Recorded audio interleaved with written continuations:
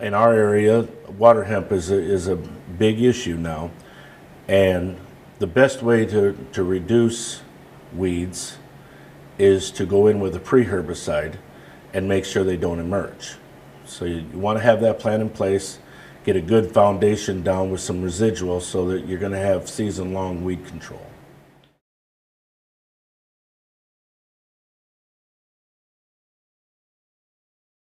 Well, last year we had a, a very hard spring, and uh, many people didn't get their pre's on. And we had farmers that chose not to put the pre's on so they could get uh, crops planted.